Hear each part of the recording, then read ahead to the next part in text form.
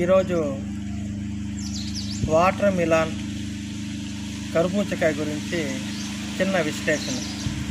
ఎంత స్థలం ఉన్నా కానీ ఏ స్థలాన్ని వదలకుండా కొంచెం అట్మాస్ఫియర్ కొంచెం వాన పడే మారు ఉంటే దయచేసి ఏ స్థలం వదలకుండా ఏదో ఒక మొక్క మీకు తోచిన మొక్కను వేసుకోండి. మీకు కావాల్సిన పదార్థాలు ముఖ్యంగా వర్మీ కోస్ట్ మీకు కావాల్సింది వర్మీ కోస్ట్ తర్వాత కోకో పిస్ట్. కోకో పిస్ట్ అంటే ఏదో విచిత్రమైనది అనుకోకుండా టెంకాయ పీసులో వచ్చేదే ఒక సంవత్సరం టెంకాయ పీసుని అట్లే మట్టిలో ఊరబెడితే అదో కోకో పిస్ట్. ఇది వచ్చి అంటే విత్తన శుద్ధికి బాగా పనిచేస్తుంది.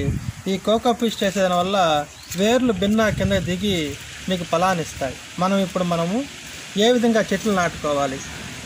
ఈ ఈ భూమి ఏ విధంగా ఉండాలంటే ఇసుక మట్టి అన్నీ కలిసి ఉండాలి. ఇసుక కలిగిన భూమిగా ఉండాలి. మనం ఇప్పుడు రెండు విత్తనాలు వేస్తాం. ఫస్ట్ గాతం వేసుకోవడము ఉంటుంది దాంట్లో ఒక రవ్వ కోకో పిస్ట్ వేసుకోవడం. విత్తనం వేసేయండి. మట్టి వేసేయండి. తర్వాత ఇంకో గాతం వేసుకోవడము.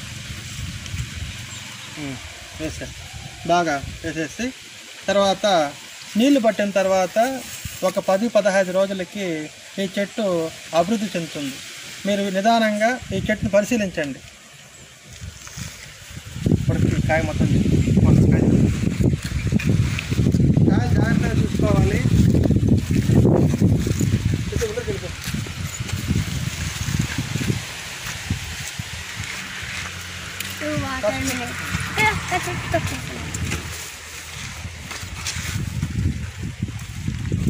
మనకి మొదట పువ్వు పువ్వు వస్తుంది. పువ్వు కింద చిన్న చిన్న కాయలు వస్తాయి.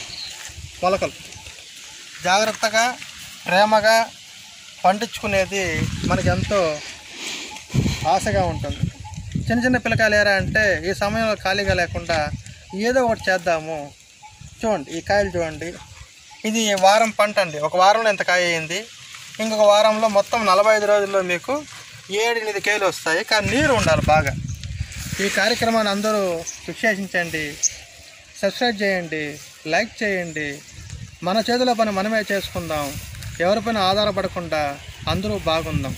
లోకా సంస్థ సుఖినో భవంతు.